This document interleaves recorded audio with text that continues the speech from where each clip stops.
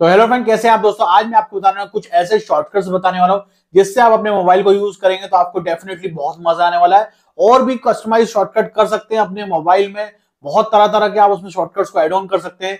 जिससे आप अपने मोबाइल को बहुत ही इजीली और बहुत ही क्विकली यूज़ कर पाएँगे। मैं उसमें से कुछ आपको सम टिप्स बताऊँगा जिससे आप, जो मैं अपनी डेली लाइफ में यूज़ करता हूँ और मुझे बहुत ही अच्छे लगते हैं।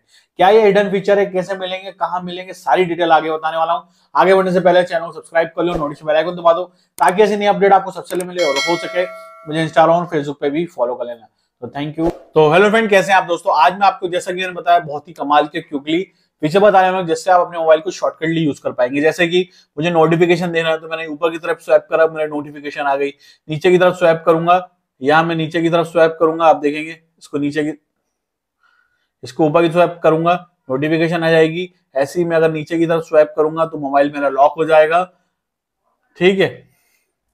लॉक हो जाएगा। ऐसे ही मैं अगर ऊपर की तरफ़ स्वैप करूँगा तो रिसेंट विंडोज़ खुल जाएँगी। और ऐसे ही मैं नीचे की तरफ़ स्वैप करूँगा तो मेरा स्क्रीनशॉट आ जाएगा। आप देख रहे हैं। ये कुछ मैंने सिंपल से मैंने लगा रखे हैं डेली लाइफ के लिए, मुझे बहुत इंपॉर्टेंट रहते हैं। आप इसके अंदर बहुत सारे कस्टमाइजेशन कर सकते हैं, या फिर सेम मेरे मेरे जैसा भी कस्टमाइज करना है तो उसके लिए सबसे पहले आपको जाना है अपने मोबाइल की गुडलक वाली ऐप में चले जाना है। गुडलक वाली मोबाइल की ऐप में जाने के बाद आपको जाना है अपने मोबाइल के वन हैंड ऑपरेशन ऐप में। अगर आपने नहीं डाउनलोड किया है तो आपको उसको डाउनलोड कर लेना है। One hand operation app. आपने इसको चले जाना है। इसमें जाने के बाद अपने गैजेट्स को ऑन कर लेना है वन हैंड ऑपरेशन पे। तो आप यहाँ पर बहुत ही अच्छे अच्छे तरीके से यहाँ पर एड ऑन कर सकते हैं। जैसे नोटिफिकेशन पैनल एड ऑन किया है मैंने, डायनेमिक अब में। तो यहाँ पर अगर मुझे और कुछ लगाना है इसमें, या ओपन क्यूक पैनल लगाना है, स्क्रीन ऑफ़ लगाना है, क्लोज ऐप लगाना है, टॉर्च लगाना है, स्पीड स्क्रीन लगाना है, या कुछ भी, लाइक मेरे को ये लगाना है क्यूक पॉपअप व्यू। ठीक है? अब मैंने इसको लगा दिया।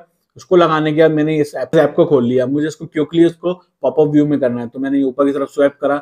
मेरा मोबाइल पॉपअप व्यू में चल गया। फिर मल्टीटास्किंग करनी है तो मैं इजीली यहाँ पर कर पाऊँगा। तो ऐसे ही आप बहुत सारे इसमें, बहुत सारे इसमें जो भी आपको लगाना चाहो आप लगा सकते हैं, जिससे आप इजीली क्विकली अपने मोबाइल को यूज़ कर सकते हैं। बैक स्पेस स्क्रीन ऑफ़ जो भी आपको लगाना हो, आप देख रहे हैं इसमें क्या क्या लगा सकते हैं। लाइक आपको लगाना है यहाँ पर minimise popup window assistant apps finder search screenshot smart select screenshot pin to search screen record touch panel power key menu auto rotation and then बहुत सारे मोड्स दिए हुए हैं, जो भी आपको लगाना हो। बट मेरे को तो यही लगता है, मैंने राइट में ये लगा के रखा है सॉरी लेफ़्ट में ये लगा के रखा है राइट हैंड में मैंने लगा के रखा है, ऊपर की तरफ़ रिसेंट की, और नीचे की तरफ़ स्वाइप करूँगा तो स्क्रीन तो इससे आप अपने मोबाइल को काफ़ी अच्छे से रिडिजाइन करके और अच्छे से यूज़ कर सकते हैं। तो यही मैंने सिंपल सा क्यों टिप दिया है, जिससे आप उसको यूज़ करेंगे डेफिनेटली मज़ा आ जाएगा। वहीं देखिए आपको मेरी वीडियो पसंद आई होगी। ऐसे नहीं अपडेट्स के लिए चैनल को सब्सक्राइब कीजिएगा। थैंक यू सो मच दोस्तों मुझे उम्मीद है कि आपको मेरी वीडियो पसंद आई होगी। अगर आपको मेरी वीडियो पसंद है तो प्लीज़ लाइक ज़रूर करें। और आपको लगता है कुछ कमी है मेरी वीडियो में तो मैं डिसलाइक हो सकते हैं या फिर अगर आप मुझसे कुछ पूछना चाहते हैं इस वीडियो रिलेटेड या कुछ भी आप डायरेक्टली कमेंट करके पूछ सकते हैं या फिर डायरेक्टली इंस्टाग्राम फेसबुक पर डीएम कर, करके भी पूछ सकते हैं। सबसे ज़रूरी चीज़ अगर अभी तक आपने मेरे चैनल सब्सक्राइब नहीं किया तो प्लीज़ चैनल को सब्सक्राइब कर लो नोटिस बेल आइकन दबा दो ताकि ऐसी नई अपडेट आपको सबसे मिले और हो सके मुझे इंस्टाग्राम फेसबुक पर भी फॉलो कर लेना। Thank you so much